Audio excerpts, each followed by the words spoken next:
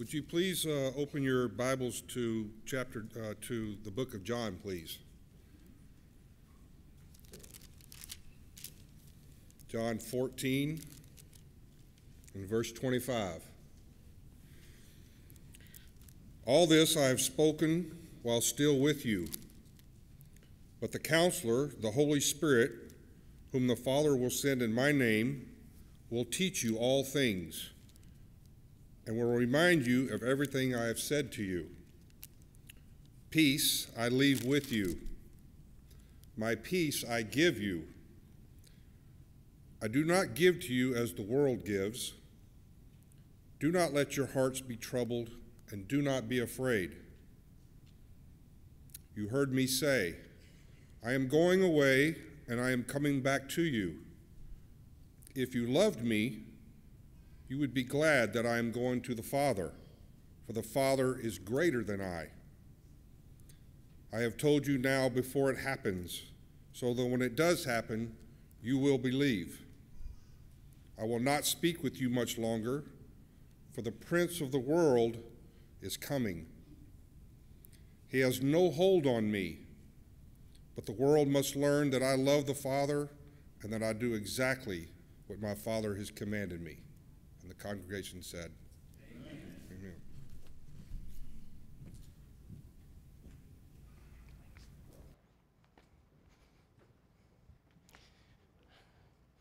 Thanks, Phil. It's great to see everybody today. It was good to have Joshua here last week. It's good to see lots of things that are going on this week. We've had a great week and being able to see some of the things that happen. I know some kids are not excited about school starting, but, uh, well, to tell you the truth, the teachers aren't really either. But it was great to be able to take all the work that you guys had done with the backpacks and with the teacher bags, especially, and take those to the schools. And you, uh, we'd say, Well, we have teacher bags for your teacher. And they go, Okay, uh, yeah, sure, come on. And so, but then we start bringing them in, and they'd go, Oh, oh, wow. so that was really nice to see that they were so appreciative because that was so well done and it's because of you guys that you gave so much and that it was just able to be an expression of how we think about it that we want to see people who are doing great things with kids because we do great things with kids and that's part of what it's all about is being able to have that bible class and have kids learn and it's a great way to have teachers and the community, as well as all the parents, realize that, you know what, churches do something good for them. And so that's been a good thing. And that was very exciting. I think you're going to see some changes by next week. We've been talking building renovation, and so I can't promise, but by the time you come next week, there may be some dust. I'll just leave it at that. How's that? I wish I had taken the picture, but that's your backyard in case you didn't know and haven't been out there. And we want to talk a little bit about joy and peace. There's this little church that sits in front of the Superstition Mountains. And a lot of times our life is like that. There's a whole lot of dark clouds around and a whole lot of difficulties in life, but there's one bright spot, and that one bright spot is Jesus Christ. That one bright spot is where church is. And that's the best thing that we're able to see. If you look at the passage that uh, Phil read to us today in John 14, this is the last night of Jesus' life. And when you put it in that kind of a context and realize what he's trying to tell them, they're already upset. They already understand that he's leaving. Even though he said, I'm going to prepare a place for you, yeah, but we don't want you to go. It doesn't matter how nice the place is, we don't want you to go. Already Judas has left. He's already with soldiers. Soldiers are already organizing to be able to come and to take him away. And they're sitting in the upper room, and he says, No, I need to tell you about this. And so he says the, the Father's going to send the Holy Spirit to you. He's going to be a helper, a counselor, a comforter, and it's interpreted that way in different versions that we have. And yes, he is all of those things. And so he is going to be here to help us through this, but especially at that time as they face the loss of their leader, they've got to realize that there's something that must happen here. And they realize that Jesus is going away. He says, No, you don't understand. He will be here with you. I am not leaving you alone. He says, And I will leave you my peace. Such an odd statement. Peace be to you. I'll leave you my peace. I give you my peace, not like the world. So, what does that mean if it's like the world? What if it's like the world? It's, well, fix all my circumstances in my life. Mainly give me lots of money because that seems to be the answer to everything. And what you don't realize is that just creates so many more problems that we just don't even understand. But if you think about it, he says, I'm going to give you my peace. What kind of peace do you have, Jesus? You are less than 24 hours from a cross. What kind of peace do you have, Jesus? He says, I'll give you mine. As he stands in an upper room, realizing one of his disciples is already gone, betrayal is taking place at this very moment. And realizing all of them are going to run away, how do you encourage them? And he says, I'll give you my peace. Hmm. He says, You know I'm going away. You understand I'm going away. You understand what that's all about, and I've been and I've trained and we've all done this together, but I'm going to leave you and I am going to come back. He says, I want you to understand. I'm going to tell you this early so that you'll believe when it happens. And so he tells them about this. He tells them the ruler of the world is coming.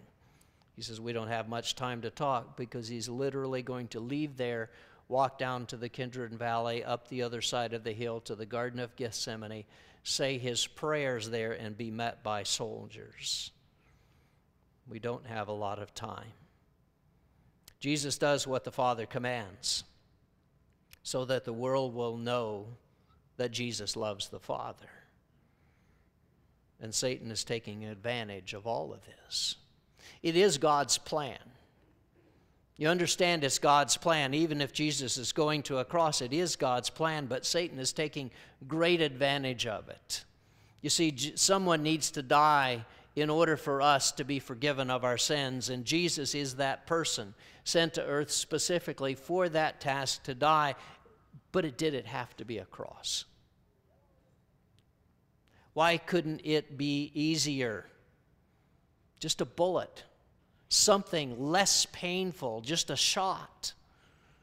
We don't even take criminals and do that to them. Of course, they did back then, I guess, but we don't do that. We're more humane about it. But you see Satan working so much. He says, Let me make it the worst possible. So that this is how the world would do it, because it's his world.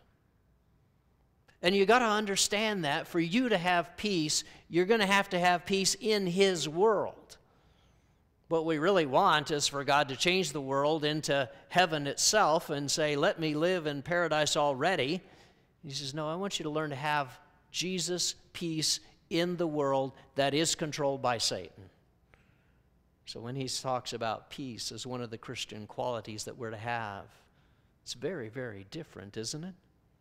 The world keeps saying, fix all my problems. Fix my marriage, fix my finances, fix my car, fix what's wrong in my house, fix my job, fix my kids, fix everything around me so that I can be at peace.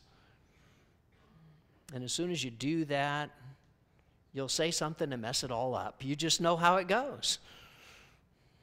That isn't what peace is about. It's about learning to do to die on a cross.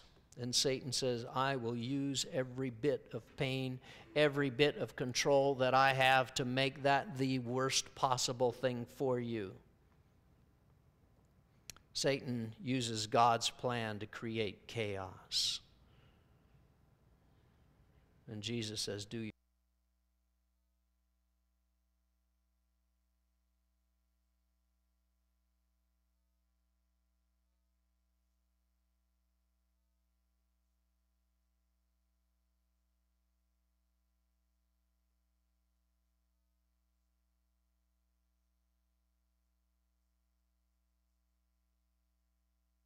good things that he'd done, and they're the ones who are standing there yelling to crucify him. An innocent man is dying.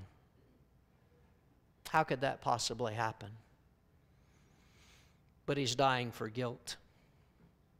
He's dying for our guilt. So he must die for the guilty. And we can't really be mad about his death because otherwise we're the ones we're the ones that's having a problem and we can't get rid of it. But when the guilt is gone, when he's died for it, it's all over, it's vanished. And Jesus faces the chaos of our world as he faces the cross. But he's been doing it all his life. He's been doing it every single time we see him because he is a man of peace who walks into that world and he sees so much brokenness around it. And it's one of those things that you're able to see how it all happens and you're able to understand here's what it's all about. The whole Bible is about chaos brought into the world. It started with Adam as chaos was brought into the world. And you're able to see all those things that happen as Adam allowed Satan in, and all the rest of us have also. So, how do you get this peace? How do we do this? Well, let me give you some illustrations. Maybe that'll help a little bit. Mark chapter 4, I think one of the classic ones is about Jesus and the storm. It says in verse 35 On that day when evening had come, he said to them, Let us go across to the other side. And leaving the crowd, they took him with them in the boat just as he was, and other boats were with him. And a great windstorm arose, and the waves were breaking into the boat, so that the boat was already filling. But he was asleep on the cushion. And they woke him, and they said to him, Teacher, do you not care that we are perishing? And he awoke and rebuked the wind and said to the sea, Peace, be still. And the wind ceased, and there was a great calm. And he said to them, Why are you so afraid? Have you still no faith? And they were filled with great fear, and they said to one another, Who then is this that even the wind and the sea obey him? This is one of my favorite stories just because of the power.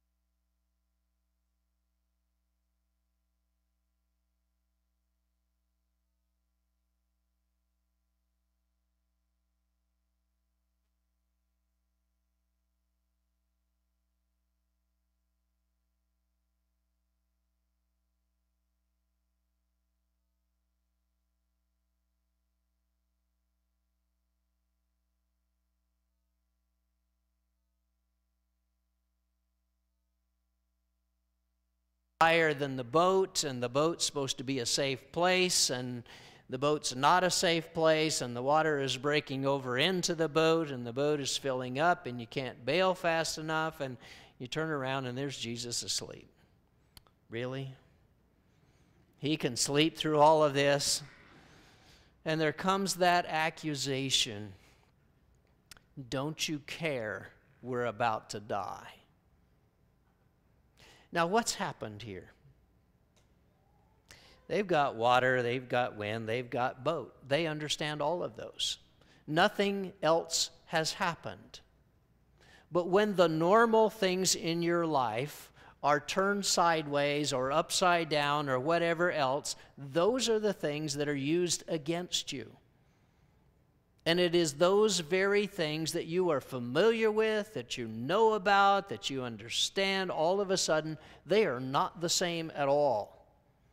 I mean, water is supposed to stay in the glass, water is supposed to stay in the sink, water is not supposed to pile up 30 feet high. I mean, maybe if you're a surfer, you would like that, but not so much if you're trying to sail across on the Sea of Galilee.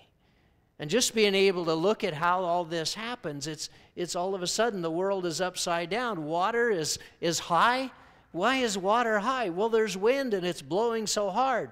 Wind's not supposed to blow that hard.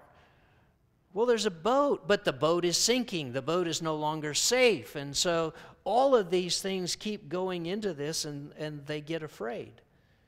And they forgot their faith. It's when the familiar is out of control. It isn't that we're faced with so many different things or terrible things. It's that we're faced with our normal things and they seem to they seem to create great chaos around us. And when the great chaos comes, our world is turned upside down. And the things that were familiar now seem against us. How can that possibly be? You know, we had these nice little kids, then they grow up to be teenagers, and you're like, what happened? You have all these great friends, and then you're going, why don't they like me anymore? Happens between husband and wife. How can the person you love the most all of a sudden say they don't even like you? How in the world can these things happen when they take the things that were the most precious to us and they turn them against us? The job that we held the place, the position, the friends, everything is all of a sudden turned upside down because things are not where they're supposed to be and the world is coming apart and things are just not normal. And what happens is it makes us want to cry, Don't you care about me, God, because I am a victim. And as long as you are a victim, you will not find peace. When you choose to become a victim, Satan's got you. Jesus is not a victim. And he speaks into that chaos. And he says, Peace be still. This is what it should look like. And it, the wind quits. And the water's flat. And you can bail it out of the boat now. And all of a sudden, everything that you knew has gone back to the way it was. And once again, well, okay, now I have control. So are you still the victim? And what we must understand is that God speaks into our chaos.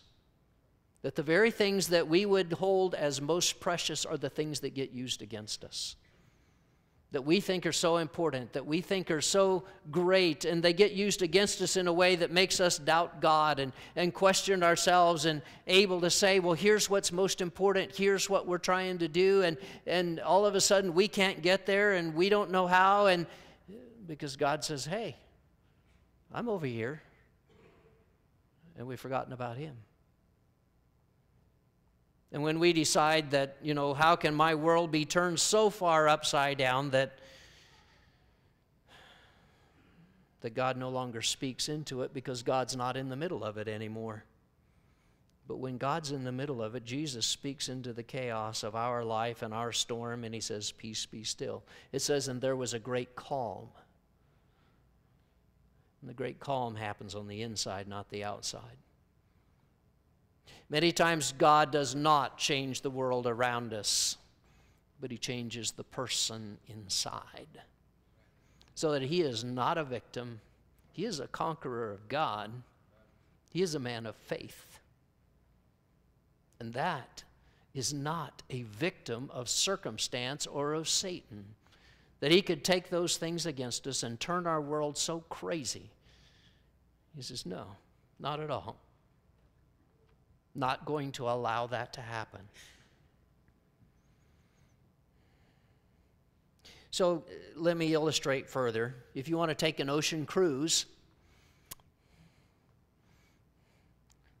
would you book this one? Probably not, right? Maybe this one. This is a much better ocean cruise. And we love that. It's great, right? Because it's usually all you can eat.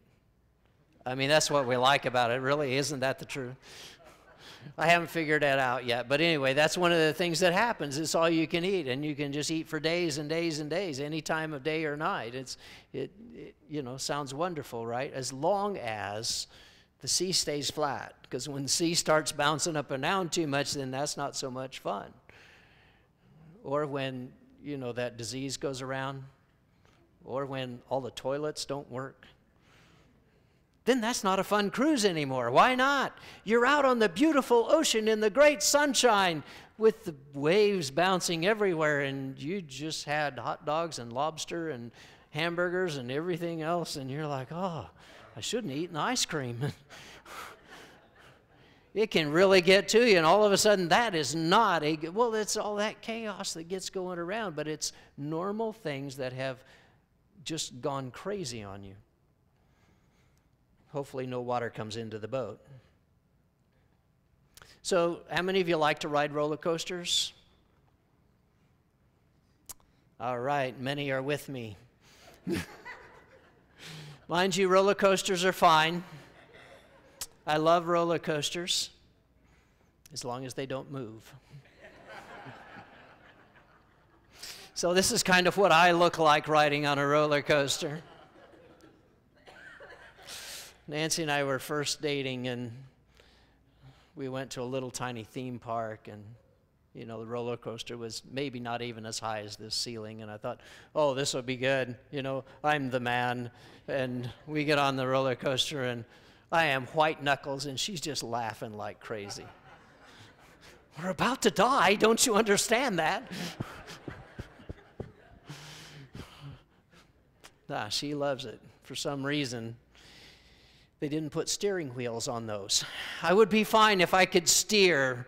You know, it's just the there's no steering wheel. And so they'll take that and then they start defying all laws of nature and gravity and everything else. And, you know, those are just not good.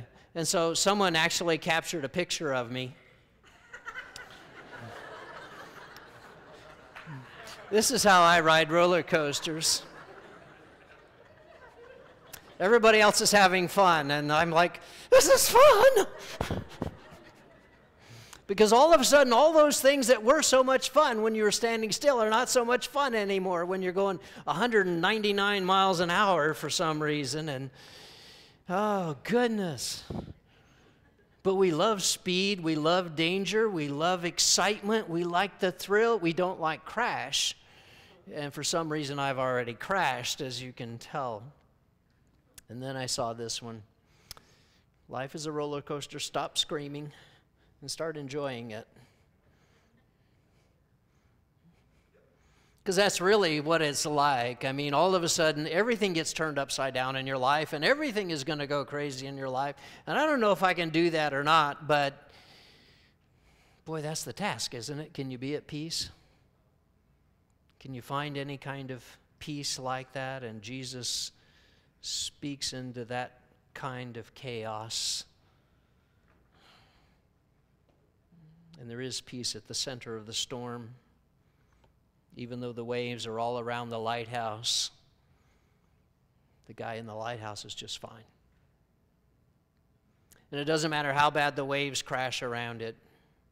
I'm sure the blindness bothered the man who was blind, but it doesn't seem to bother Jesus.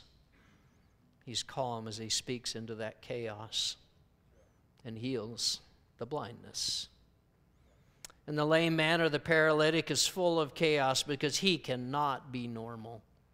He cannot move like other people until Jesus speaks into his chaos. and says, Get up and walk. The demon possessed man can't even control himself or what he says or anything about himself. Satan literally has come in and one of his demons has possessed him. And Jesus casts out the demon and brings order to his life. Jesus speaks into the chaos of addiction, of alcohol or drugs or lost control of our life, and he says, Peace be still.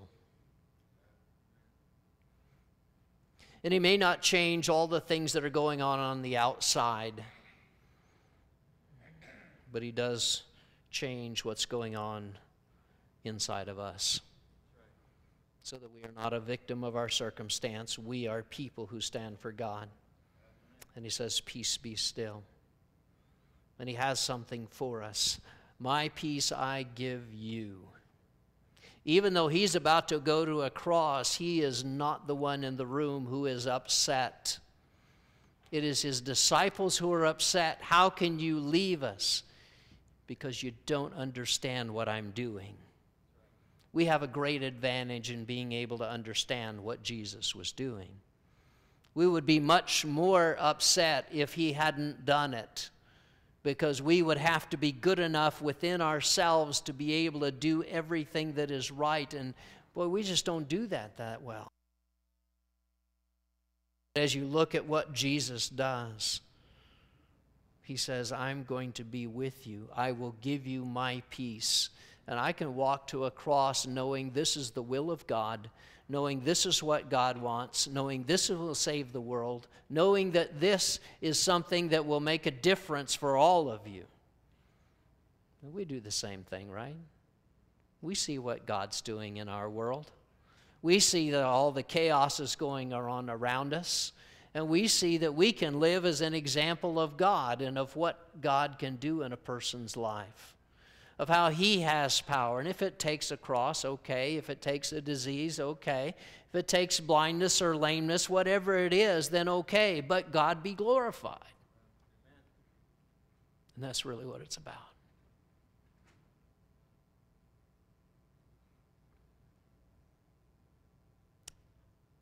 and we refuse to be victim. Because this is where we live. The fruit of the Spirit is peace. And when that Spirit is put into your life, He introduces something that is so different. He produces that peace and joy. I think we could have joy if we could just find the peace If we knew how to deal with the chaos, we could have the joy. A couple of things I saw. Life isn't about waiting for the storm to pass,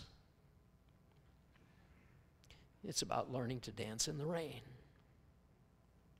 And He gives you His Spirit to produce that kind of peace and that kind of joy. And He may not calm the circumstance, but He will give you understanding of what it's all about. If you look for him, you're going to see how he is able to use it. And even if he doesn't show you yet, you can have great confidence that he will, because it will be there. Here's the other one don't let people pull you into their storm, you pull them into your peace. Because there's so many times that people get so upset and so excited around us, and they come and they want to share you're going to share your fear and you're going to share your. maybe if I can get you out of all the distress that you're going on, as if somehow that would help. Let me tell you about what I've got. Let me tell you about what God does. And as Christians, if we can really believe what God does, we can face anything with peace. And Jesus looks at a cross and says, I'll give you my peace. Because your world is about to be turned upside down when your Savior is crucified, and you're going to have to go on your own, and you're going to have to be able to do this, but you're going to make it. What an incredible thing it is to realize that we don't have to take on other people's chaos. They can tell us about how terrible it is and about how awful it is, and they may even choose to be a victim and say, Don't you feel sorry for me? If that's all you want, you're missing a lot. I could give you some peace. I can't take things away and make your life instantly better because you've been at it a long time. And when we've been messing up for a long time, it doesn't just straighten out instantly. But Jesus goes to a cross in order to make peace. Because of the cross, we're forgiven of sins. Because of a cross, we receive His grace. We make a covenant with Him when we're baptized into Christ. And all of our sins are taken away, and all of the guilt is gone. And when He says, Peace be still we can depend on that. And even though life continues to rage, we can have peace. And He offers us the community of church, and He offers us the forgiveness and redemption to deal with our own shame. And He offers us grace that continues daily, and He offers us His Spirit that reminds us every single day, every single time we see the storm, you're okay. You're okay. God has a plan, and you're okay. Speak into the chaos of people around us, and to be able to share with them. He's gone to heaven, and he'll be back because he's gone to prepare a place for us. And this is going to be great.